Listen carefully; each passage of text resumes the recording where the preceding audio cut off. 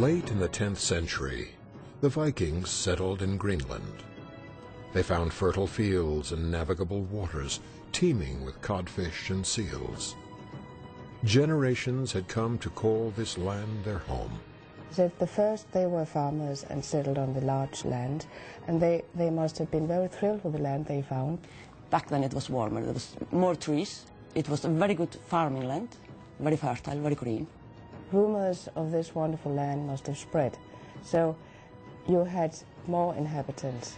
We think of this as a rough life, but they have had fashionable clothing and they have had time to play. It's been tough, but they have had good times as well. The Viking communities in Greenland were vibrant and thriving by the year 1100. Within a few hundred years, they were all wiped out. The reason? Climate change.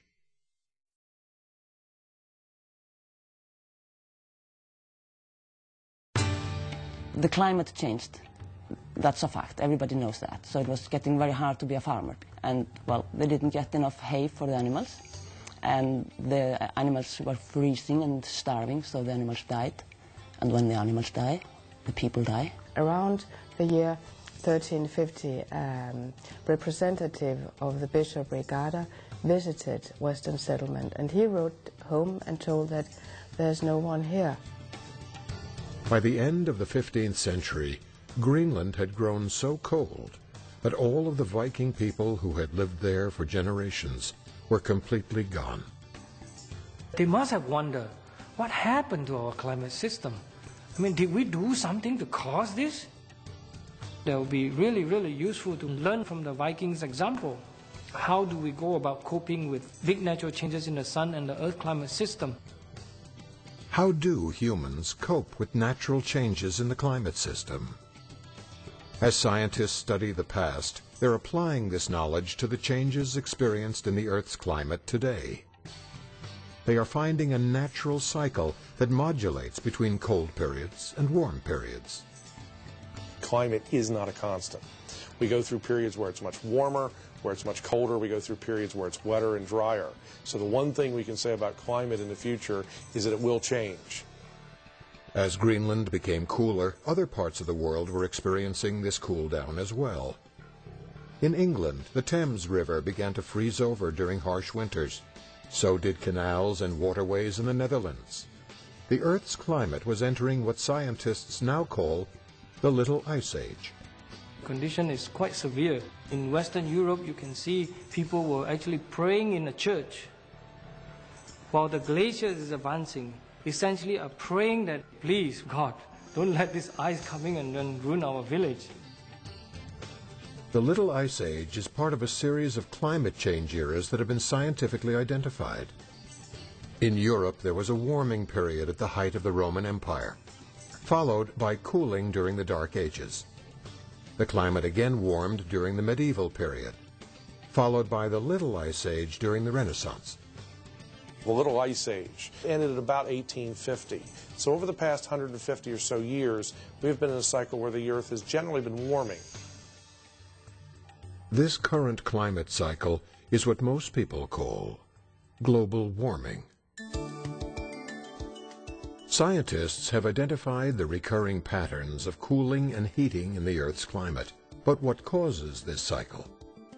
The sun is the key ingredient to climate. I mean, 99.9% of the energy on the Earth that goes into the climate system comes from the sun. The sun, of course, in terms of its light energy output, is probably the only true external driver of the Earth climate system because there is no other forces on Earth that would supply that amount of energy for the, for the air to move around, the ocean current to move around, or trees to grow. So there is no doubt that the sun is the main driver and supplier of energy to the Earth uh, weather and climate system. The sun's magnetism has a profound effect on the Earth. The sun's magnetic fields experience regular natural cycles. Sound familiar?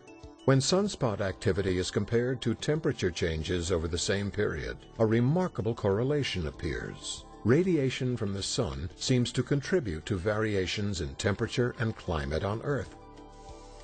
This is important when trying to understand climate patterns. The sun's natural cycles are a primary driver of our climate's natural cycles. You have such a strong indication that there is this close relationship between how much the energy output from the sun changes and then how much the, the temperature changes.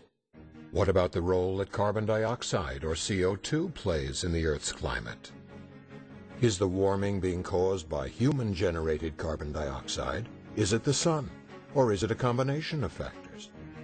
Humans do affect our environment, and one of the ways they do that is change the constituents in the atmosphere. I think the biggest driver is going to be other natural fluctuations, and carbon dioxide plays a small role in that. The modern warming of Greenland has been going on since 1850, long before human-generated CO2 was entering the atmosphere.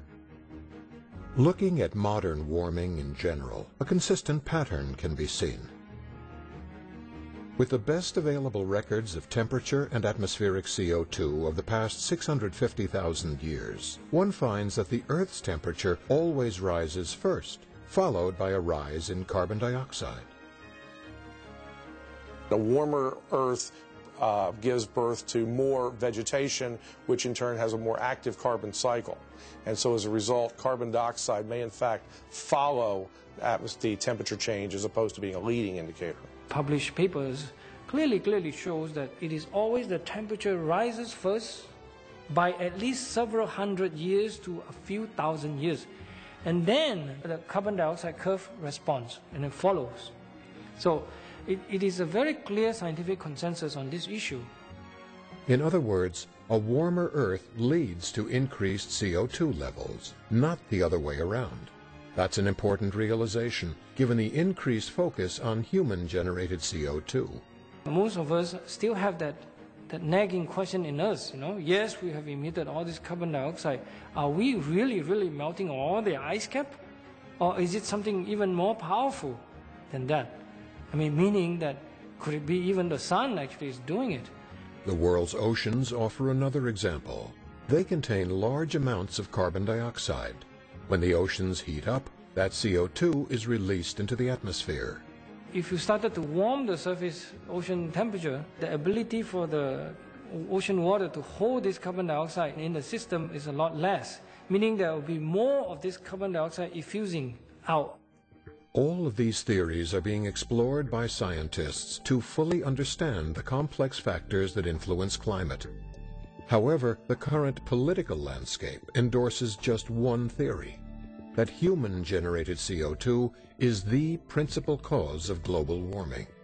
Those views are indeed promoted by political bodies, which is uh, the Intergovernmental Panel for Climate Change, and there appears to be a, corrupted process, in my opinion, of, of their bodies, where I think science and scientists are being misused in a lot of ways. And these are all becoming really a war of words instead of war of evidence and science that troubles me. There's a science document, which is really written by scientists for scientists. There's also a summary for policymakers.